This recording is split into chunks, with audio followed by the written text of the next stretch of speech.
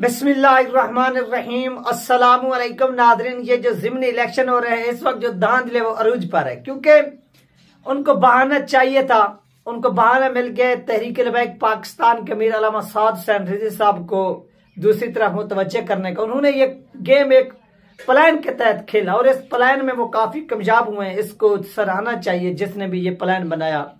क्योंकि तहरीक लबैक पाकिस्तान की जो आज पूरी क्यादत है या कारकुनान इनके नज़रें जो हैं वो मार्च पर जो जिमनी इलेक्शन हो रहे हैं, ग्यारह नशिस्तों पर, यानी तीन जो है सुबह और जो आठ हैं, वो हो रही हैं नेशनल असम्बली की।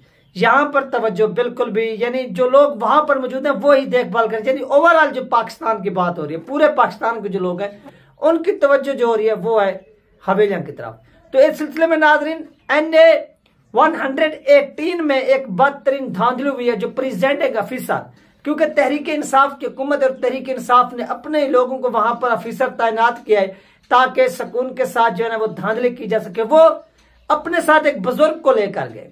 जब बुज़ुर्ग को लेकर गए, जब बुज़ुर्ग कमरे में इंटर हुआ तो उन्होंने क्या किया? उन्होंने कहा कि आप इस तरह से करें कि आप बल्ले को वोट डाल दें। यानी उस बुज़ुर्ग को कहा, और ये इस तरह से, यानी जो बुज़ुर्ग आते हैं, उनको कहते हैं कि आप इस तरह से करें कि बल्ले को वोट डाल दें।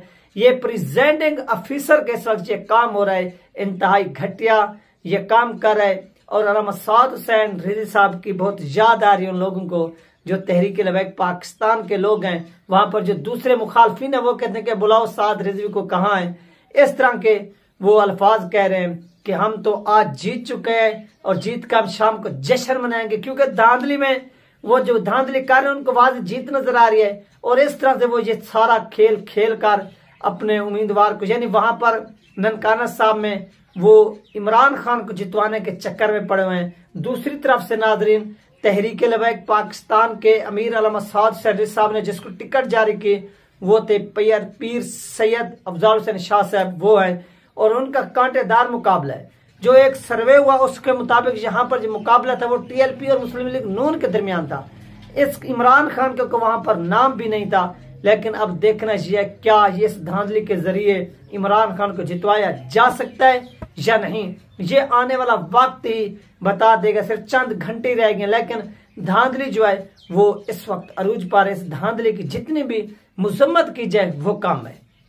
ये नादरीन, बहुत ही अफसोसनाक वाक्य रूनमा और तहरीक लबैक पाकिस्तान के नौजवान ने वहाँ पर खड़े होकर एहतजाज रिकॉर्ड करवाया और कहा कि ये इस धांधली को फिल फॉर रोका जाए, अगर ना रोका गया तो फिर इसकी जो नतज निकलेंगे, उसकी जिम्मेदार ये हकूमत होगी।